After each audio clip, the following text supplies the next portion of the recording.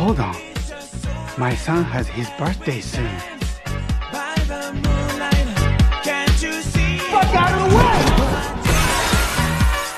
The! Oh, would you like some champagne?